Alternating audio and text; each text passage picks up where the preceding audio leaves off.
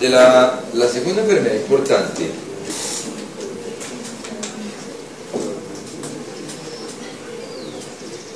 se trata de, yo creo que de las enfermedades transmitidas por vectores que más nos han impactado en los últimos 15 o 20 años. Yo no digo solamente a Colombia, sino en casi todo el mundo.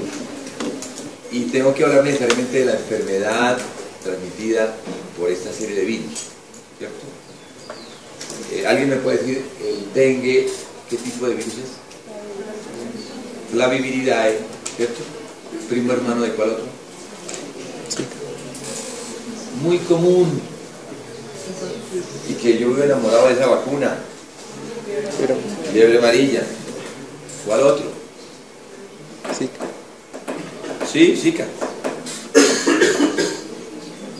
Y además de muchos otros muy comunes en otras partes del mundo que aunque aquí se suenan raras, en el mundo sí son frecuentes. La encefalitis japonesa. Mira, pues la vaina para que la trae este tipo a decir. Es que la encefalitis japonesa afecta desde los montes Urales hasta Siberia.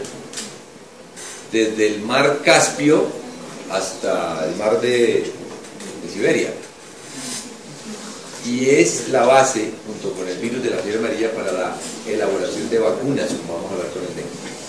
¿Eh? Entonces, el dengue es tal vez de las enfermedades febriles más frecuentes que se presentan en casi todo el mundo. Mire, si sumamos la cantidad de muertos que produce malaria, dengue y tubérculos, estamos hablando de más de 3.500 millones de personas a riesgo de enfermedad por esas tres enfermedades. Eso es casi el 50% de la población mundial. Y dengue es tal vez de, la, de las más importantes. Entonces, ¿qué es el dengue? Según la definición de la OMS, es una enfermedad febril que dura de 2 a 7 días con fiebre bifásica. Quiere decir que tiene una fase caliente, una fase fría, dolor ocular, y ahí es un nombre, llaman fiebre quebranta huesos, dolor retroocular mialgias, artralgias, eventualmente un rash, por fenómenos que vamos a explicar ahora, leucopenia, linfanopatías, causada por un virus del género Flaviviridae, transmitido de un humano a otro susceptible por varias cepas de mosquitos aedes. Eso lo dice la OMS. Aquí clasificaría muchos otros de esa misma manera de coronavirus. Como hablábamos que el vector de la era anómenes hembra, aquí tenemos que hablar de este bicho, que se llama Aedes. Aedes. Recuerden que hay muchas familias, la fiebre amarilla la produce, la transmite Aedes aegypti y Aedes albopictus. Aquí también puede ser el Aedes aegypti o el Aedes albopictus, pero sobre todo Aedes aegypti. ¿Por qué se caracteriza el virus? El virus es un virus que tiene una una cápside importante y es muy importante la cápside porque en la cápside es donde se expresan la mayoría de los antígenos. Esos son los antígenos que generan anticuerpos, los antígenos que producen protección. O sea, estos son los antígenos que se busca reproducir en una vacuna. ¿Para qué? Para que genere una respuesta importante. Es un virus de cadena simple, ARN, que tiene una proteína de envoltura E y una proteína muy importante que se llama proteína de membrana M y una proteína de cápside C, que son la base de todas las vacunas. Entonces, ¿cuál es el curso clínico de la del dengue? Primero, tengan en cuenta que el dengue tiene dos fases y eso es lo que ustedes tienen que estar alerta cuando tengan delante de ustedes un paciente con dengue. ¿En qué fase de la enfermedad están? El peligro máximo del síndrome de shock por dengue, el mal llamado dengue hemorrágico. Empieza desde el momento que se expone acá, analizados desde el punto de vista de, temperatura, clínica, laboratorio y serología. Entonces, ¿qué pasa? Los primeros días, tres o cuatro días, el paciente estuvo de paseo en, en eh, Hyundai, Tolima, allá al lado del Carmen de Nicaragua. Llegó ese lunes, no va a la universidad porque está rema. Una fiebre, la berraca, dolor aquí detrás de los ojos, en, en la enfermedad se llama quebrantahuesos, que es una sensación asquerosa, que me duele todo, hasta el pelo, dicen, una temperatura de incremento muy rápido, por supuesto la gente se deshidrata. En ese momento, si uno analiza, es una gripa. La fiebre de fervete y después del tercer o cuarto día ya hay, estamos en la fase de normo, temperatura o fase fría. En ese momento, ¿qué ocurre? Ya hay manifestaciones fisiopatológicas importantes de membrana del endotelio que generan un fenómeno de aumento en la permeabilidad, serositis, fuga de líquidos. Entonces aquí ya el paciente empezó a hacer cuadro de colapso cardiovascular, hipotensión, edema. El primer síntoma precoz es asitis, posiblemente hacen edema maleolar y obviamente por fenómenos de hemoconcentración, pues miren lo que va a pasar. Empieza a descender rápidamente las plaquetas y en ese momento, a partir del tercer o cuarto día, hay hemoconcentración y el hematocito empieza a aumentar. Si uno logra determinar diagnóstico serológico o virológico, encontraría que si uno hiciera cultivo en esos primeros tres o cuatro días, lo encontraría. Pero aquí no hay la condición de hacer cultivo de. Y nadie va al médico aquí paciente va al médico, a menos que haya una uh, histeria colectiva de que hay dengue en el país. La gente llega cuando está vaciado aquí. Y en este momento es el momento clave porque el paciente estuvo mal hace dos o tres días con una fiebre terrible y va al médico hoy porque ya no tiene fiebre pero se siente muy mal y empezó a hincharle la barriga y estuvo el fin de semana o hace cuatro días en el GAP es la fase delicada del dengue. Aquí ya hay choque hemorrágico, alteración multisistema. En ese momento sigue aumentando progresivamente el hematocrito, hay pues trombocitopenia, pero hay una pancitopenia, que es el momento en que casi siempre uno lo diagnostica. Y aquí ya los reactantes de fase aguda empiezan a aumentar, empiezan a aumentar los IgM, es la fase aguda el que sobreviva, o mejor que la mayoría afortunadamente, de aquí en adelante ya empieza a tener un periodo de recuperación. Entonces, ¿qué ocurre con, la, con el dengue? Mal llamado dengue hemorrágico es el mismo dengue que se produce después de 3 o 4 días del inicio de los síntomas severos. Y son los mismos del dengue, pero con manifestaciones sistémicas vasculares. Entonces vamos a encontrar hemorragia, trombocitopenia, aumento de la permeabilidad vascular, todos los signos de fuga. Pues pónganle ustedes signos de fuga a nivel cardiovascular, hipotensión, bajo gasto, hipoperfusión, eh, hemoconcentración, todo lo que quieran. Hipoproteinemia y derrame seroso. La serositis aparece en el tercer o cuarto día.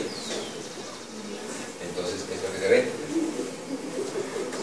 En ese momento, por ahí el tercer o cuarto día, suele aparecer el rash cutáneo. Pueden haber teras o no, pero es un rash característico. Y obviamente por fenómenos de colapso cardiocirculatorio e hipotensión, pues puede haber alteración del sensorio.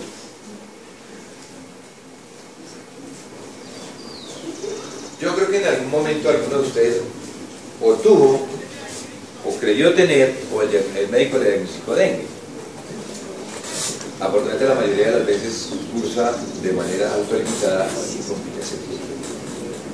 ¿Por qué es importante hablar de dengue?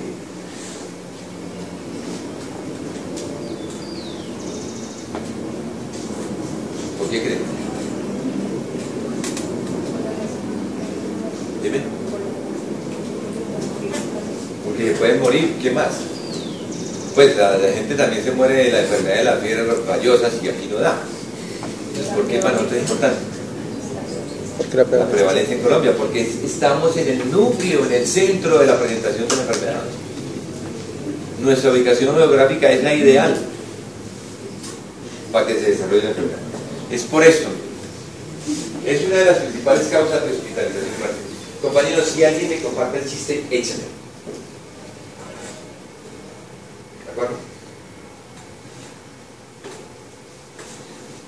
¿De acuerdo? pone las principales causas de hospitalización y muerte en países desarrollados. Más de 2.500 millones de personas un riesgo de presentar enfermedad. 50 millones de casos se mueren al año y cada vez hay un aumento de brotes en Fíjense, 50.000 hospitalizados. Eso es un problema de salud pública terrible. Letalidad del dengue hemorrágico del 20%. Aumento de las tasas en personas no expuestas. La transmisión del dengue en zonas urbanas, que eso es lo más grave. Ya no se habla de dengue rural, sino dengue periurbano. Lo que yo les digo siempre, si por ejemplo Bogotá fuera eh, a 300 metros a nivel del mar, en zona selvática, pues Chía sería zona de, de dengue periurbano. Así de simple. Eso es lo que ha pasado en las últimas epidemias. Y fíjense que dengue solamente afecta estos, solo estos del mundo. Esto es más del 60% del planeta. De los 27 grados de latitud norte para abajo y los 27 grados de latitud sur, sur para arriba, solamente en esta parte del mundo hay. Esto es mundo. ¿Y dónde estamos nosotros? En el centro. Entonces compartimos eso con toda el Asia, con África, con Brasil. Por eso dengue en Colombia es un problema de salud pública tenaz. Porque en Colombia circulan los cuatro serotipos de dengue simultáneamente. Entonces, puede haber los cuatro virus simultáneamente y producir enfermedad variada. Fíjense cuál es la incidencia de dengue en Colombia. Este colorcito corresponde a este, que son de 10.000 a 100.000 casos de fiebre de dengue o fiebre hemorrágica por dengue en un año. Solamente nos supera Brasil, este país que se llama Vietnam y este país que se llama Tailandia. Entonces fíjense que estamos dentro del, desde el de los, países con dengue. Y eso lo dicen las últimas eh, cifras de, la OMS. Las últimas epidemias de dengue que han demostrado en Brasil esta cantidad de casos y en Colombia esta cantidad de casos. Pero es que Brasil es como seis veces o más grande que nosotros.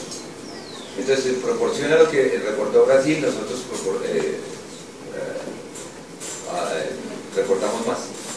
Estamos en segundo lugar en casi todos los países que han reportado dengue en el mundo. Por eso es que nos interesaba mucho, desde los últimos cinco años, trabajar en la vacuna, que ya está, se a poner en marcha. El evento que transforma un dengue clásico en un dengue hemorrágico grave es la presencia de permeabilidad vascular incrementada. O sea, una serositis circular. En razón a que ya estoy percibiendo que están mamados, la próxima diapositiva la voy a obviar, porque es una diapositiva que habla del fenómeno vascular. Todo eso quiere decir que se produce un fenómeno endotelial. Cuando yo hablo de selectina, SICAM, BICAM, no estoy hablando en arameo, sino que eso ustedes saben. Es sencillamente que el virus genera fenómenos de membrana, aumento de vascularidad y pérdida de líquidos. No es más.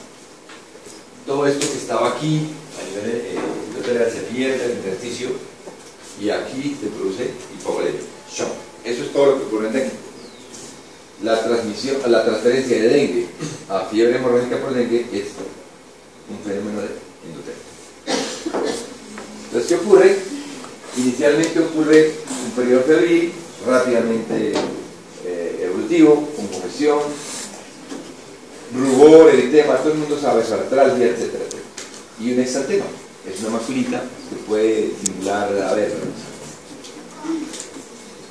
cualquiera de las exantemas ustedes ya vieron este. Y luego pasa a la fase febril. Es de alto, riesgo por eh, la posibilidad de serositis, hemoconcentración. Uno de los parámetros que ustedes deben tener en cuenta para el seguimiento de un paciente que ustedes crean o sospechen que va cursando hacia dengue hemorrágico es el hematocrito. Afortunadamente todavía me llaman mis, mis muchachos cuando están por haciendo rural cada por dengue y les digo sencillo, tomen un hematocrito cada 12 horas o cada 24. Con eso ustedes van a estar si no se están concentrando frescos, no hay. Pero si aparece un derrame seroso, asitis, o el cuadromático demostró eh, que hay hipoproteinemia, no el cuadromático, sino el examen de sangre, pues indica que hay un fenómeno de, de, endotelio y hay hemoconcentración. Entonces ahí pueden aparecer los demás cuadros de. ¿Cuáles son los signos de alarma? Estos. Ya lo son. Las formas atípicas son estas, dependiendo del órgano blanco que altere. Esto es un reto. Hacer el diagnóstico de dengue neonatal, decirle que en lactantes cada día es más, digo, no es que sea de todos los días, pero se presenta con el El diagnóstico, ya saben, es, sencillo. Clínica, un hemograma, pero el hematocito sería cuando estamos en el día 3 o 4, que les explicaba allí, hay trombocitopenia, hay leucopenia, y si ustedes ven que el paciente está con cirrosis, que con asitis, piden una ecografía abdominal y listo. Entonces, con tres cosas es suficiente.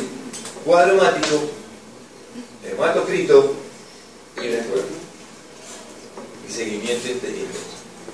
Entonces, fíjense cómo va variando. A partir del día 6, sexto, séptimo, ya octavo, por lo menos, ya aparece la IgG, que es un eh, marcador de seguimiento.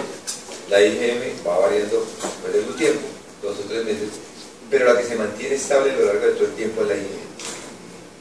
Existe una detección de una proteína, recuerdan cuando veíamos el virus, una proteína que se puede tener en la primera semana, que es la detección de la proteína NS1, o de una prueba de PCR en los primeros días. O la PCR puede tomar en cualquier fase.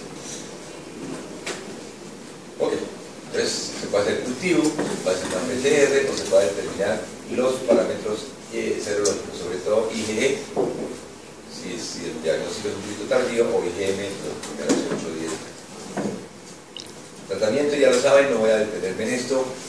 Eh, se trata de zona hiperendémica, todas las camillas, todas las cunitas con un tornillo impregnado en, en insecticida de estos, hospitalizar. Si hay síntomas de fuga, el manejo hídrico es fundamental.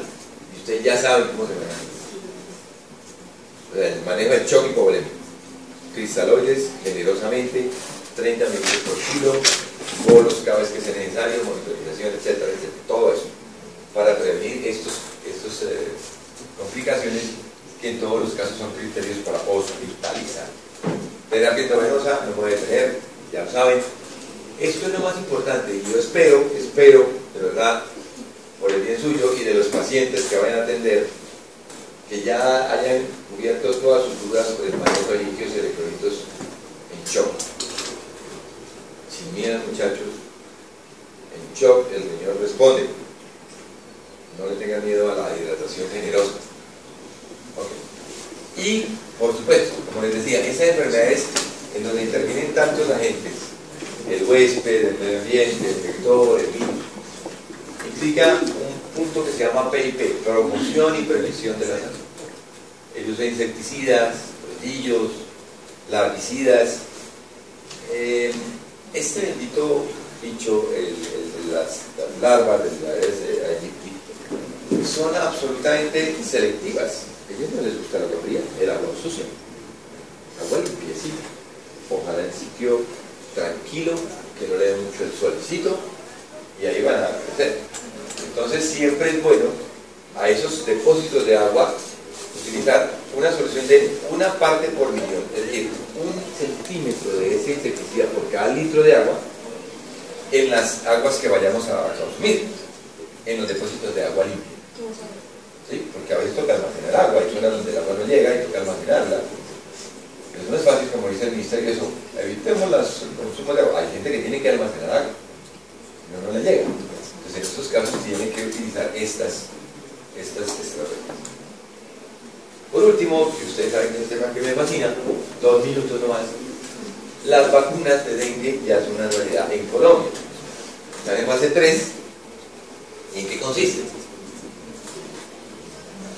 ¿Alguien sabe qué es una quimera? es una figura mitológica.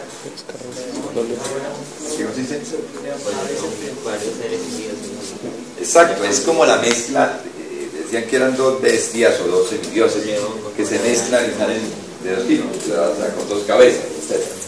Es, hace relación a la mezcla de dos especies distintas.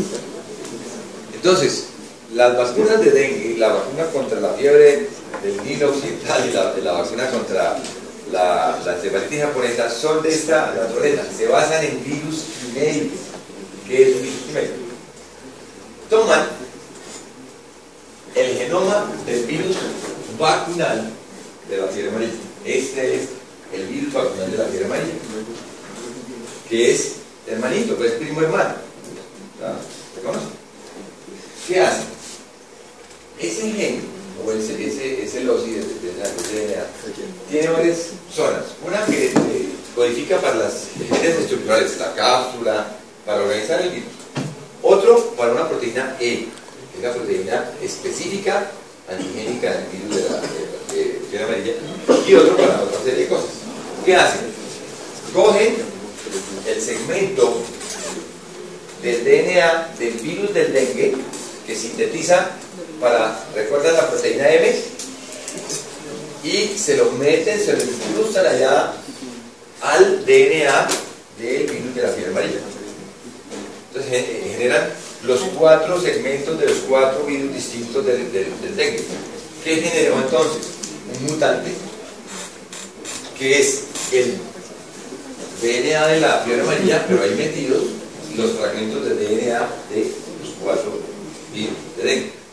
Eso es un virus quimérico. Entonces, este DNA raro empieza a producir la proteína antigénica del virus de la fiebre amarilla y las proteínas antigénicas de los cuatro virus de dengue. Eso suena facilito.